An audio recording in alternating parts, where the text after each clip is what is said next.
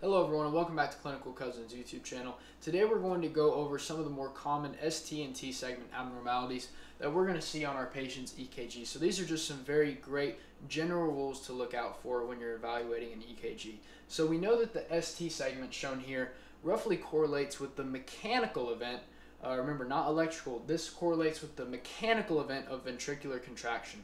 So uh, when the QRS uh, stimulates the ventricles, uh, the depolarizes the ventricles, this represents after the ventricles have been depolarized, the heart is electrically silent, but we are having ventricular contraction at this time.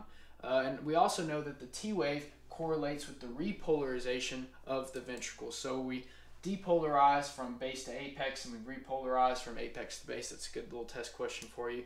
So some good facts to know right off the bat is that any ST depression or ST elevation with or without a T wave inversion is usually indicative of some sort of ischemia or injury uh, if the patient is symptomatic or if it's new onset. So it's good to know how to watch out for these findings. So we should also know that the T wave is usually associated with this negative repolarization wave. You can see I've drawn the negative wave here. So it travels in a sort of upwards and rightward direction. Remember, our heart's kind of sitting like this. So uh, this is why the T wave is usually inverted in AVR. Remember, if this negative, if negative repolarization waves are like mean girls, and this is our guy right here, he's not going to be very happy that uh, that this negative wave is coming right at him.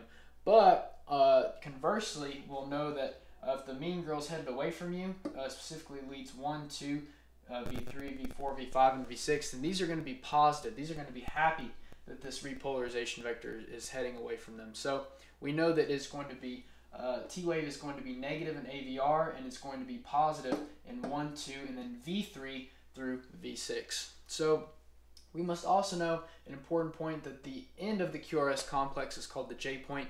This is where uh, this is the division of our QRS complex from our ST segment. So uh, the J point is kind of cool because it can tell us different information about how healthy our heart is. So the J point is usually sharp, but if it's rounded or undefined, like we'll see in our uh, tombstone T's that we'll look at, it means that uh, it could just be an early repolarization pattern that's commonly seen in, in younger people. Uh, for example, I have this in, in all my EKGs that, that I've had on myself. Or uh, it could be in sign of a strain or pericarditis or even an acute myocardial infarction, as we'll see here in just a second. So uh, it's important to watch out for those sharp and diffuse uh, J points. So we also need to be aware that the ST segment itself could also be uh, indicative of, of some pathology. So we should know that the ST segment should be directly in line with the TP segment. So how do you measure this? Well, we have to take a ruler on our TP segment, and if it's not directly in line with the ST segment, then we have to have some sort of uh, depression or elevation, and that requires some further evaluation. So remember that it is normal to have an ST uh, elevation or depression of one millimeter uh, from the baseline. This is the baseline, the TP segment, in the limb leads. We also know that an ST variation of 1.5 millimeters for women, 2 millimeters for men older than 40, and 2.5 millimeters for men younger than 40 is also normal. So really evaluate any ST elevation or depression, but it's a good general rule to so you don't freak out in your mind that uh, these are the guidelines to use for different ages and different uh, genders. So uh, what's really cool about the ST segment is that uh, it comes in a lot of different shapes, all different shapes and sizes and flavors. So it'll tell us how the heart muscle is doing. So for example, if we have some concave up shapes, it likely uh, could indicate some sort of strained pericarditis or it could just be normal.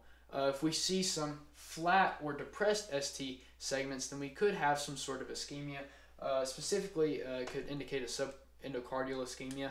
Uh, if we have an ST depression that is also inverted, uh, we'll see in our in our later videos that we'll post that this could indicate a potential strain pattern. and if we have a flat or elevated ST segment with or without T-wave inversion, this could indicate some sort of injury. So like I said, always always uh, monitor for the ST elevation. This could be something serious. And lastly, we always come to the, the tombstone uh, T's or the tombstone STs as, as you'll see them called. So this is like a big rounded ST segment that looks like a tombstone. I've drawn a little dead guy here because this likely indicates a massive ventricular infarction or a ventricular aneurysm.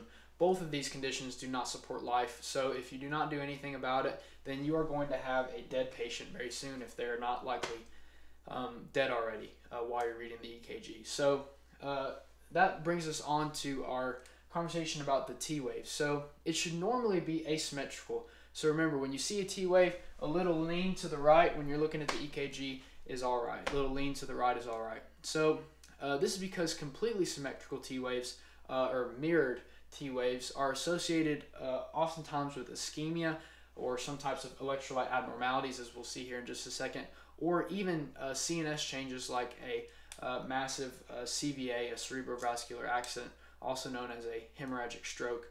Uh, so a good way to check a T wave that I like to do is I like to pretend like it's a pile of dirt, and I use a, a little ruler to drop a stake in it. So uh, if there's more dirt on the on the right side, then we know that we're looking good. But if it's completely symmetrical, there's equal amounts of dirt on either side, then we know that this is this is not good. So that brings us to the conversation of really broad T waves. So this could indicate hyperkalemia or a cerebrovascular accident, also known as a hemorrhagic stroke. And we go over this in our hyperkalemia management video. So if you if you need a quick refresher, um, go check that out really quick and then come back to this. But it's likely that whatever school you're in, they're going to teach you that tall tented T waves are a sign of hyperkalemia on the EKG. And this is all they teach you. And this is true, but it's only uh, true in the very, very early stages. In fact, if your patient has a sinusoidal rhythm with broad T waves that are kind of hard to detect, like this, so for example, if this was the baseline, this was the baseline, this would be very, very broad. Uh, we have to remember that this could indicate hyperkalemia. So, uh, hyperkalemia, you know, the heart becomes paralyzed and eventually it pulls that EKG string into a flat line. You have a dead patient. So, remember that broad T waves can indicate hyperkalemia or possibly a hemorrhagic stroke. Now, what about the size of the T wave? So you're to say, well, that one's not very tall. Well, how tall should they be? So they should be small in amplitude, meaning the height should be small. Specifically, they should be less than 6 millimeters in the limb leads and less than 12 millimeters in the chest leads. But this can vary in, in some people. So a good uh, general rule to remember that is that the T wave should be uh, less than two thirds the height of the R wave. So remember that the chest leads, they can be a little bit bigger. The chest leads are closer to the heart. Uh, that means more of those electrical impulses from the heart are going to be generated uh, and read by those leads. So it's okay if they're a little bit bigger in the precordial leads. In fact, we expect this. But a great rule is that the R wave uh, should be about a third taller than our T wave. Or in other words, the T wave should be less than two thirds the height of the R wave. So a good recap. Uh, a good T wave is what? It should be asymmetrical. It should be upright in leads 1, 2, and then V3 through V6. And it should be small or less than two thirds the height of the R wave. We must remember that we want um, some sharp J points. Uh, we should always evaluate ST elevation uh, in any patient further um, because we do know that oftentimes it, it can be associated with uh, ischemia or injury or perhaps an infarction. And a good rule is to uh, compare the ST segments and T waves uh, across all the leads. See what's see what's in common. See what's different in, in some leads. This could uh, lead you to uh, maybe have a good catch of something that would have been missed by uh, other providers or other people who are reading the EKG. You could potentially catch uh, a STEMI, a non-STEMI. You could potentially catch a massive infarction or a ventricular aneurysm. So this is just a little bit, uh, a broad introduction about the STNT uh, abnormalities. So uh, be sure to tune into our other videos uh, coming up to uh, where we take a, a, deeper dive into some of the uh, more serious and life-threatening EKG changes. So as always, thank you for taking the time to learn with us today, and remember to like and subscribe for more content.